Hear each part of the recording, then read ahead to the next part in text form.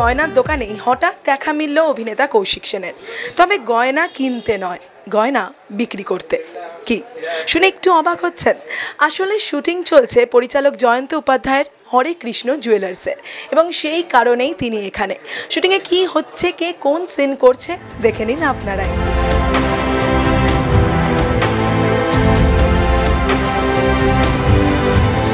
গল্পটা নিমাই কাহিনী, নিমা- নিমাই ভট্টাচার্যের কাহিনী।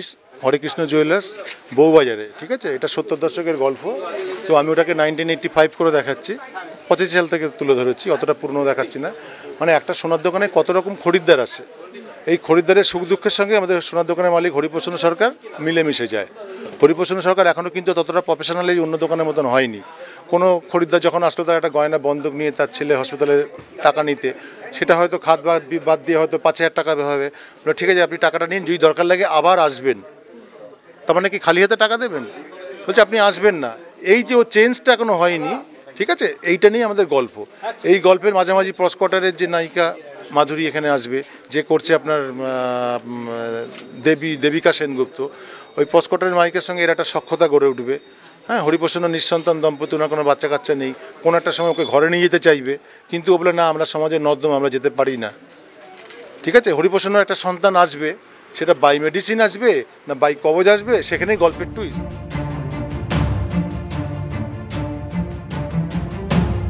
আজকে সোনার দোকানের মালিকে, আজকে সোনার দোকানটা এন্ড আজকে সোনার দোকানে হেনা বসাকের চরিত্রটা। হেনা বসাক একটা চরিত্র, যে তার বাবা তাকে ছেড়ে চলে যায় হাজব্যান্ড ছেড়ে চলে যায়, তখন ওর কাঁধে ভাই বোন সবাই আছে। ওই ভাইকে, বোনকে মানুষ করবে তাদের বিয়ে দেবে এবং সে লাস্টে নিজে কি করে পাত্রস্থ হবে। এবং তার থেকে ভালো কথা, সে নিজে এসে কার্ড দিয়ে নেমন্তন্ন করবে যে, আমার বিয়ের কার্ডের নেমন্তন্ন করলাম। তখন আমাদের হরিপ্রসন্ন বলবে, সবাই সোনা বানিয়ে নিয়ে যায় কিন্তু কেউ আমাদের নিমন্ত্রণ করে না। আপনাকে দেখলাম যে, আপনাকে তো নিমন্ত্রণ করেন। মানে গল্পটার বিভিন্ন শেড আছে, সব প্রত্যেকটা ক্যারেক্টার শেড আছে। এবং এখানে সবাই কিন্তু হিরো সবাই হিরোইন কোনো রিয়েলটার হিরো হিরোইন কেন্দ্রিক না। মনে হয় দর্শকদের ভালো লাগবে আমি তো চেষ্টা করছি।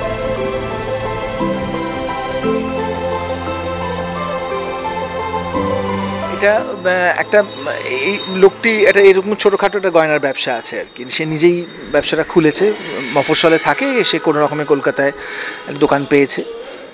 স্ত্রী আছে, নিঃসন্তান। এই দোকানটা ঘিরেই গল্পটা মূলত গড়ে ওঠে। এই বেচাকেনার মধ্যে দিয়ে বিভিন্ন লোকের সঙ্গে আলাপ, বিভিন্ন মানুষ, নানান রকমের মানুষ চেনা তার সঙ্গে একটা এক্সপিরিয়েন্স কখনো কখনো কারোর সঙ্গে জড়িয়ে পড়া, এরকমও অনেক রকমের বেসিক্যালি রিলেশনশিপের ওপরে তবে গল্পের লাইনারটা ইন্টারেস্টিং এই পর্যন্ত।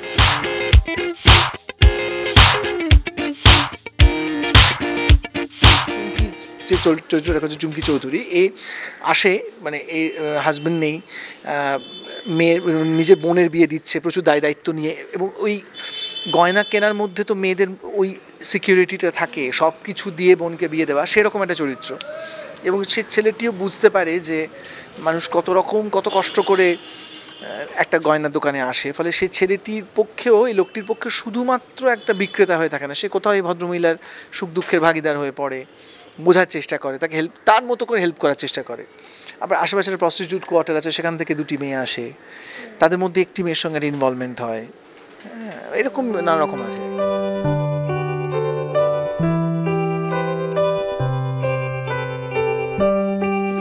হেনা বলে ক্যারেক্টারটা করছি যে স্বামীর সঙ্গে থাকে না, বাপের বাড়িতে চলে এসেছে। কেন স্বামীর যেরকম জীবনযাত্রা মানাতে পারেনি। কিন্তু বাবা চলে যাওয়ার পর ওই ভাই বোনের দায়িত্ব এনার কাঁধেই পড়ে। তা ভাই বোনকে মানুষ করতে করতে নিজের দিকে তাকাবার সময় পায়নি।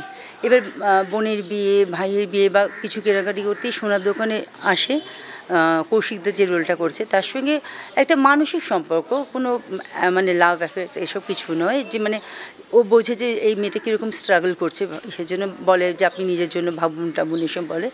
তা, এই দেখা যায় যে ভাই বোনের বিয়ে হয়ে যাওয়ার পর, তারপর সে নিজের জন্য ভাবছে, সেই কথাটা একে জানাচ্ছে, তারপর বিয়ে অব্দি যাচ্ছে কিনা সেটা আমি জানি না, সেটা গল্পের টুইস্ট রয়েছে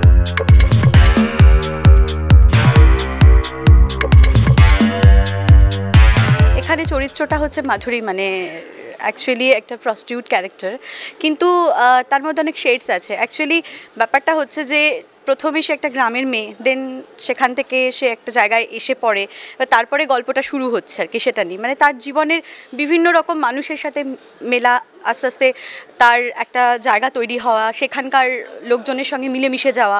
তো একটা মেয়ের জীবনে কি হতে পারে সেটা নিয়েই গল্পটা।